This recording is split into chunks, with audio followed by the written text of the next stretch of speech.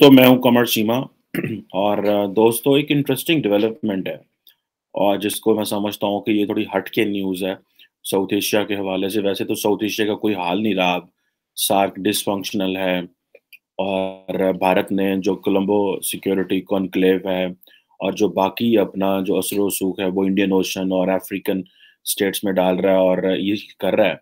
लेकिन चाइना आपको पता है as a counter weight to India जो है, वो काम कर रहा है और इंडिया ने चाइना जो है, वो बांग्लादेश के साथ मिलके बांग्लादेश में एक मिसाइल मेंटेनेंस हब जो स्टैब्लिश कर रहे हैं।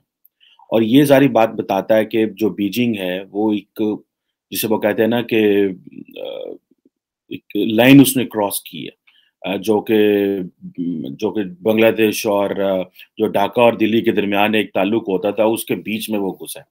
अब ये है कि जो चाइना है वो प्रिपेयर कर रहा है एक मेंटेनेंस फैसिलिटी बांग्लादेश के अंदर जिसमें surface to air missile system जो है वो सप्लाई किया जाएगा।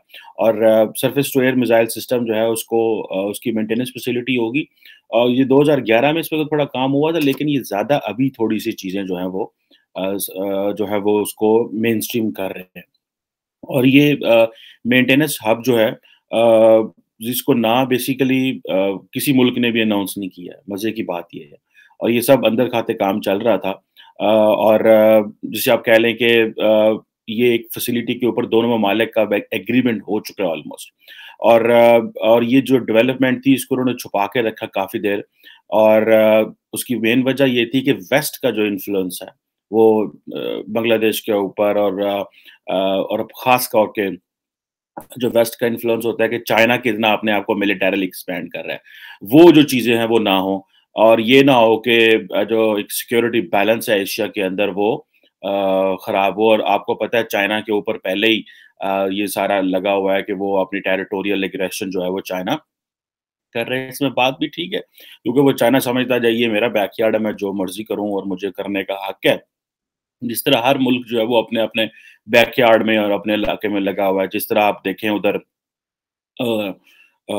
यूरोप में देखें तो जो रशिया वो ये कहता है कि जी आप यूक्रेन को नेटो में नहीं ले सकते बिकॉज़ ये मेरा जो है वो आ, मेरी नेशनल सिक्योरिटी को खतरा है।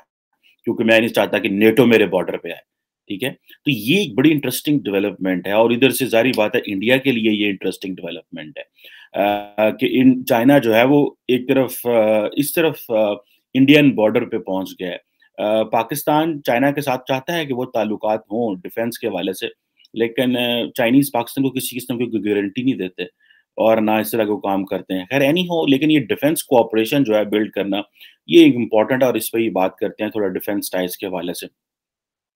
अब ये जो फैसिलिटी है जिसमें एक चाइनीज़ कंपनी है जो कि बेसिकली काम कर रही है और ये मिलिट्री रिलेटेड जो इन्वेस्टमेंट्स हैं ये बेसिकली ये सिर्फ़ इस हद तक मौजूद नहीं है।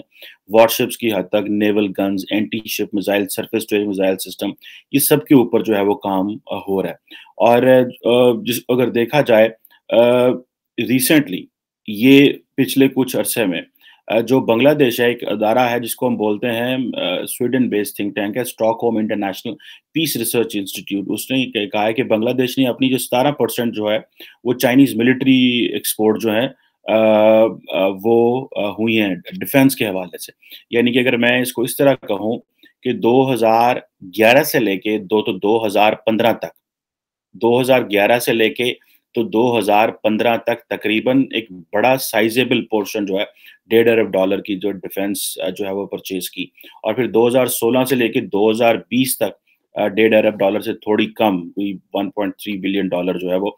और पाकिस्तान के बाद बड़ा जो प्लेयर है, वो बांग्लादेश है for the Chinese arms export यानी कि या तो पाकिस्तान को डिफेंस इक्विपमेंट आ रहा है, या फिर चाइना जो है वो बांग्लादेश को ये defence equipment Chinese military export जो है वो आ रही है और ये जितना भी चाइना का मिलिट्री एक्सपोर्ट है, उसका सतारह परसेंट जो है वो बांग्लादेश को गया है। खैर, इस पर बाद में भी बात करते हैं, लेकिन ये आपको मैं ट्रेंड बता रहा हूँ कि इस ट्रेंड को जो Stockholm International Peace Research Institute है, उसने मैयर किया पाकिस्तान ने तो फिर खैर लंबा चौड़ा हमारी डिफेंस प्रोक्योरमेंट है, इतनी लंबी भी नहीं है लेकिन यह है कि समवेयर अराउंड अगर देखा जाए तो, ये मेरे पास एक ग्राफ है जिसमें 2011 से 2015 तक पाकिस्तान ने तकरीबन जो है वो 2.78 बिलियन डॉलर की इंपोर्ट की और 2000 2016 से 2020 तक तकरीबन कोई 2.78 बिलियन डॉलर की जो है वो इंपोर्ट की when it comes to defence तो सबसे बड़े वायर तो हम हैं। उसके बाद बांग्लादेश है, फिर अलजीरिया है, म्यांमार है, थाईलैंड है, तुर्कमानिस्तान है, सऊदी अरब, बिल्कुल ये थोड़े थोड़े मिलियंस ऑफ़ डॉलर्स में इंडोनेशिया और बाकी जो है ममालिक लेकिन सबसे बड़े बायर चाइनीज़ असले के हम हैं फ़िलहाल this is what the chart और ये जो मज़े की बात है कि दोनों ममालिक ने एक treaty of defence cooperation sign की थी 2002 में, जिसमें बेसिकली वेपन्स प्रोडक्शन जो है वो इंक्लूड थी। और जो बांग्लादेश के आर्मी के फौजी जवान हैं वो उनको काफ़ी ज़्यादा जो है वो भेजा जाता है उधर बीजिंग में ताकि वो जो पीपल्स लिबरेशन आर्मी का जो इंस्टीट्यूट है ट्रेनिंग का, वहाँ से वो ट्रेनिंग ट्रेनिंग भी आप हासिल करें। और मज़े की बात बताऊँ आपको 2016 में बांग्लादेश ने एक जो है वो दो सब मरीन चाइना चाइना से ली थी, ताकि अपनी नेवल कैपेसिटी को बढ़ा सके। उस वक्त 2016 की बात करूँ, तकरीबन 203 मिलियन डॉलर की वो थी। और दूसरे मज़े की बात यह है कि ये और भी बहुत सारा डिफेंस इक्विपमेंट जो है उन्होंने खरीदा जिसमें ट्रेनर एयरक्राफ्ट हैं नेवल फ्रीगेट्स हैं और अब एक और है कि एफ़ नाइन्टी जो मिसाइल जो भी चाइना ने सप्लाई किया हुआ है और उसमें कोई टेक्निकल प्रॉब्लम आ गई। ये आपको पता है कि अक्सर चाइनीज़ प्रोडक्ट्स में टेक्निकल प्रॉब्लम आ जाते हैं। और ये जो एफ़ नाइनटी मिसाइल जो है जो सिस्टम जो सप्लाई किया चाइना ने, इसमें भी आ गए।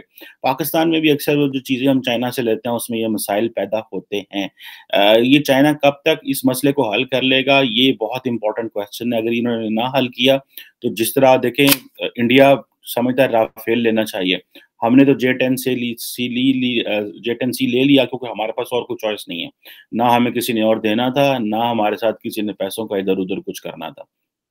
खैर एनी हो ये जो मिसाइल फैसिलिटी है और ये जो मिलिट्री इंगेजमेंट्स हैं, ये बेसिकली एक साइकोलॉजिकल वॉरफेयर है इंडिया के ऊपर चाइना की।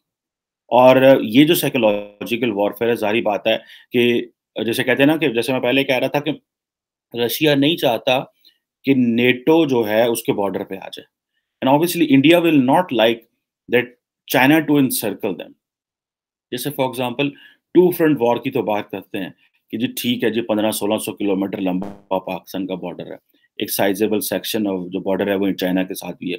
उधर बांग्लादेश भी साथ मिल जाए। उधर चाइनीज़ जो है वो आ, काम कर रहे हैं उसमें श्रीलंका वगैरह के साथ। लेकिन श्रीलंका तो इस तरह नहीं कर रहे, बेचारा श्रीलंका तो बैंक हो रहा है। मैं देख रहा था कि श्रीलंकन जो फाइनेंस मिनिस्टर है, वो तो कोई एक बिलियन डॉलर का पैकेज लेने के लिए दिल्ली में बैठे हुए हैं। So this is the leverage which New Delhi has basically on the other countries और ये अब आप देख लें कि खत्े के ममालिक में खास तौर पर लेकिन चाइना सिग्नलिंग कर रहा है इंडिया को। जितना चाइना के पास वाफर पैसा है, इंडिया के पास उतना वाफर पैसा नहीं है। इसमें तो कोई शक नहीं है। और चाइना जो है वो क्योंकि बड़े लेवल का खिलाड़ी है, लेकिन इंडिया एटलीस्ट रीजनली जो चाइना को वो काउंटर करना चाहता है they want to do it और लेकिन आपको रिसेंटली पता होगा जब 50 50 साल हुए बांग्लादेश के, जब सेलिब्रेशन हुई तो वहाँ पे इंडियन जो प्रेसिडेंट वहाँ मौजूद थे। उससे पहले नरेंद्र मोदी साहब वहाँ गए थे। तो इंडिया और बांग्लादेश के ताल्लुकात बहुत अच्छे हैं, लेकिन एक बात बताऊँ मैं आपको, बड़ी अहम बात है वो। और वो ये है कि इंडिया जो है वो तो क्वाड का पार्टनर बन गया। तो क्वाड का पार्टनर बनने की ऑफ़र बांग्लादेश को भी थी। और और ये जो थी, ये बेसिकली इसमें एक इंपॉर्टेंट चीज़ थी। लेकिन कहने को आता है कि ये जो थी ऑफ़र तो थी, लेकिन बीजिंग का जो ताल्लुक था बांग्लादेश के साथ वो इम्पोर्ट वो सामने आ गया। और सारी बात है बांग्लादेश जो है उसने ज्वाइन नहीं किया बिकॉज़ बांग्लादेश थ्रेटन फील किया उसने। लेकिन ये मेरा ख्याल है, अगर हम बांग्लादेश की जगह पे होते तो it would not have been a bad choice to be a partner of the Quad at this moment भले चाइना का इन्फ्लुएंस जितना भी हो। और अगर आप इतने बड़े अलायंस को क्लिक करते हैं, और आप कहते हैं हमने चाइना को सिर्फ़ चूज़ कर लिया है तो ये भी तो समझ से बाहर चीज़ है बांग्लादेश के वाले से। लेकिन maybe they couldn't take a decision लेकिन ये बात ठीक है कि 2021 में 2021 में जो, जिसको हम कॉर्ड कहते हैं, जिसमें ऑस्ट्रेलिया है, जापान है, इंडिया है, अमेरिका है, ये इसमें वो नहीं कर रहे थे। तो ये एक जारी बात है, चीज़ जो है वो हम समझते हैं कि एक एक इंपॉर्टेंट है और इसको आइंदा आने वाले दिनों में भी ये मैं इसको एक बहुत बड़ी गलती है जो वो समझता हूँ। और ये मिसाइल फैसिलिटी जो है और जिस तरह जो बाकी मिलिट्री इंगेजमेंट जो है they are going to determine a strong Beijing Dhaka relationship और जिस तरह मैंने पहले कहा एक साइकोलॉजिकल वॉरफेयर है जो वो करना चाह रहे हैं चाइना इंडिया के अगेंस्ट और लेकिन इंडिया के पास ऑप्शन ज़्यादा है इसमें कोई शक नहीं है। Uh, मेरा नहीं ख्याल कि Dhaka will come up as a military जिसे कहते हैं ना challenge for India that is not an option है फॉर द बांग्लादेश इंडिया के पास सुपीरियर मिलिट्री कैपेबिलिटी है वो सारा कुछ है। आई थिंक uh, वो इस पोजीशन में नहीं जाएँगे लेकिन there is some which Chinese obviously enjoy on Dhaka अब uh, एक चीज़ भी है माजी में अगर आपको याद हो uh, कि जब पाकिस्तान और चाइना के ताल्लुकात अच्छे थे तो जो चाइना था वो उस वक्त इतना कोई अच्छा नहीं था। ठीक है जी। और चाइना ने अपना वीटो जो था वो एक्सरसाइज किया था बांग्लादेश के ऊपर 1971 में बिकॉज़ पाकिस्तान के साथ उनके अच्छे ताल्लुक थे। लेकिन फिर 1974 में जो है वो ताल्लुक दोनों के इस्टेब्लिश हो गए और फिर बेल्ट एंड रोड इनिशिएटिव 2016 में आ गया। So like it's something good for them अब ये है कि जो बांग्लादेश की जो आर्म सप्लायर है, जैसे मैंने पहले बताया आपको, वो सबसे बड़ा तो है क्या उसको बोलते हैं, चीन है। तकरीबन एक शरिया दो अरब डॉलर या इस तरह के करीब है। लेकिन रशिया से भी ले रहे हैं कोई बीस मिलियन डॉलर जो है वो ली जा रही हैं मुख्तलिफ़ अदवार में। जो है वो स्टार्टिंग फ्रॉम 2001 टिल 2020 अभी को रशिया से इन्होंने 20 मिलियन डॉलर के इक्विपमेंट है। यूके से थोड़ा सा लेते हैं यूएस से थोड़ा सा लेते हैं। और बाकी से लेकिन सबसे ज़्यादा जो डिफेंस इक्विपमेंट है, वो आज भी जो है वो चाइना से ले ले रहा है बांग्लादेश। और ये जारी बात है मैंने बताया ना जैसे कि ये सबसे बड़ा एक चैलेंज है इंडिया के लिए। ऑब्वियसली इंडियन इसको अंडरमाइन कर सकते हैं कि नहीं, ये कोई बहुत चैलेंज नहीं है, बांग्लादेश के साथ हमारे अच्छे ताल्लुक हैं। हम तो वो पचास साल तकरीबात में वहाँ पे मौजूद थे, हमने बांग्लादेश को आज़ादी लेने के लिए बड़ी मदद की, ये किया, वो किया। That that that stage a part उसका इससे चीज़ से कोई ताल्लुक नहीं है। लेकिन बांग्लादेश का क्वाड ना ज्वाइन करना दैट हैज़ अ सिग्निफिकेंस इसकी एक सिग्निफिकेंस है। और जिसे आप कह लो कि ये चीज़ जो है वो इंपॉर्टेंट है। और और ये मज़े की बात है कि ये जो मैंने आपको पहले बताया कि बांग्लादेश को ऑफ़र हुई थी कॉर्ड ज्वाइन करने की, इसमें किसी भी कॉर्ड मेंबर ने इसके ऊपर एडमिट नहीं किया कि हमने ढाका को जो है वो इनवाइट किया था। बट एनी हो जिसे आप कह रहे हैं कि बांग्लादेश के ताल्लुकात इंडिया से भी अच्छे हैं। अभी इंडिया ने जो है वो एक जो 500 मिलियन डॉलर की क्रेडिट लाइन दी थी फॉर डिफेंस इंपोर्ट की बांग्लादेश को। और तकरीबन इन्होंने कोई जो मोटर गोले और ये वो बहुत सारी चीज़ें जो हैं, इन्होंने बांग्लादेश ने इंडिया से ली हैं। अब आप देखें ना, डिफरेंस यहाँ अगर पाकिस्तान जाता है श्रीलंका और कहता है पचास मिलियन डॉलर की क्रेडिट लाइन देते हैं। इंडिया जाता बांग्लादेश कहता है पाँच सौ मिलियन डॉलर की क्रेडिट लाइन ले लो डिफेंस इम्पोर्ट के हवाले से। This is something serious business. This is about money. This is about resources. The indians have those resources, which we don't have those resources. So it's about finance. जो political instability Pakistan में क्या ये पाकिस्तान को इस रास्ते पर लेके जा सकती है? No no. और अब चाइना का जो इन्फ्लुएंस है, वो साउथ एशिया में बढ़ रहा है इंडियन ओशन स्टेट्स में बढ़ रहा है। और इसको हम बोलते हैं ना, चाइना की चेक बुक डिप्लोमेसी और जारी बात है, वो एक इसमें लगे हुए हैं कि अब ठीक है चेक बुक साइन कर दे जाओ, पैसे दे दे जाओ। इंडिया भी उस चेक बुक डिप्लोमेसी में अपना छोटा चेक लिखता है, लेकिन लिखता ज़रूर है।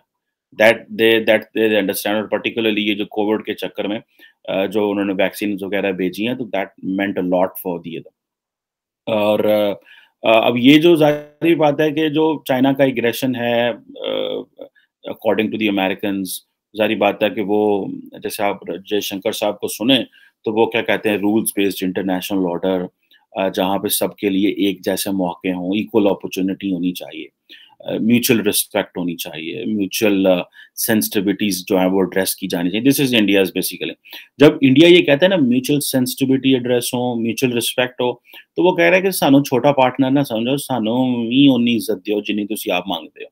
This is what they're basically saying. So do not treat us as a junior partner. This is what the Chinese Indians are saying to the Chinese and to the rest of the world. So mutual sensitivity. Mutual कहते हैं जिन्हें तुसी उन्ने असी because historically चीजें different होती थी they used to come with an order अभी वो जो इंडिया है वो रजिस्ट कर रहा है इन चीजों को खैर इसमें जारी बात है इंडिया किस कितना को चाइना को इंडिया कितना को जैसे कि बांग्लादेश को क्या दे सकता है दैट्स अ क्वेश्चन जो हमें समझने की ज़रूरत है। और दिल्ली इसमें क्या करता है, ये भी देखेंगे। जो अगर न्यू दिल्ली जो है, वो अगर ब्राह्मोस जो है, वो फिलिपाइन को भेज रहा है तो अपनी आउटरीच भी बढ़ा रहा है बेसिकली तो ये एक एंटी चाइना नेशन है, जिस तरह इंडोनेशिया है, मलेशिया है, वियतनाम है। तो इस तरह जो चाइना इंडिया जो है, उन तक भी अपना जिसे कहते हैं ना मालो मता चाह रहा है डिफेंस इक्विपमेंट जो है वो भेज रहा है। लेकिन इसका क्या होता है, किस तरह होता है दैट इज़ समथिंग जो कि हमें आइंदा आने वाले दिनों में पता चलेगा। लेकिन ये मैंने आपको एक ओवरऑल राउंड अप सा बताया है, ताकि आपको पता चले कि ये कितनी कोई इंपॉर्टेंट डेवलपमेंट है। Thank you very much